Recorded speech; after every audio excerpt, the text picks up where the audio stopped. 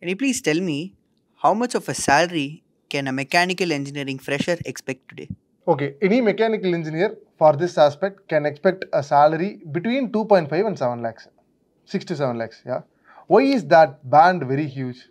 Okay, now the case is like if a mechanical engineer is starting his career in tier 3 industry, he can expect a salary between 2.5 to 3.5 lakhs. Tier 2 industry, it is again 3.5 to 5 lakhs. Tier 1 industry, again 5 to 6 lakhs, and Tier 1 and OEM, it is between 5 and 7 lakhs. Now, what is this OEM Tier 1, Tier 2, and Tier 3? Nissan is an OEM, for example, okay? Nissan is an OEM, which produces the car, the end user product.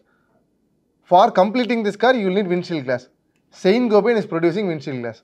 So, Saint Gobain is a Tier 1 industry who directly gives their parts to Nissan, right? For Saint Gobain to produce these windshield glasses, they need some raw materials which they procure from someone else. So that raw material company is a tier 2 industry. And, and it goes on like that. Okay. If the raw material guy wants something to be procured from someone else, it is tier 3. Say for example, now if you start your career with a tier 3 or a tier 2 company, your salary might start from 2.5 to 3.54 somewhere there. If you start your career between tier 2 and tier 1 industry, your salary might fall between 3.5 to 5 lakhs. If you start your career with tier 1 or an OEM, your salary might fall between 5 and 7 lakh, which is today's trend. Now, the million dollar question here is how do I increase my salary or reduce this gap between 2.5 and 7 lakhs?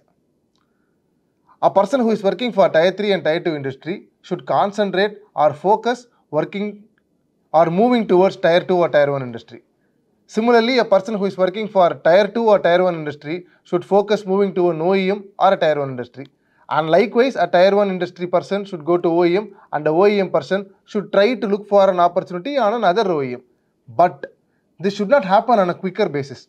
A person should stay in this company for at least 3 to 5 years time so he or she experiences multiple projects and multiple life cycles of a product right? With this experience and exposure, when you move towards multiple companies, when you move towards multiple industry, a person who had started with 2.5 lakhs at the end of his fifth year, his or her fifth year, might easily be having or earning two times of their salary in which what they started.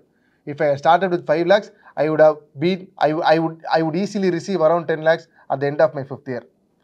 Similarly, at the end of my 10th year, I can easily receive four times of the salary what I received when I, when I started my career. If I started my career with 5 lakhs, at the end of 10th year, I can easily reach to up to 20 lakhs on my CTC. The point here is, you might have started anywhere, but your focus should be on a particular place where, for which you will have to develop your skill sets and be upskilled to the market standard and the market demands. Hope I've given some clear picture about uh, the salary expectations or the salary situations for mechanical engineers. See you all in the next video.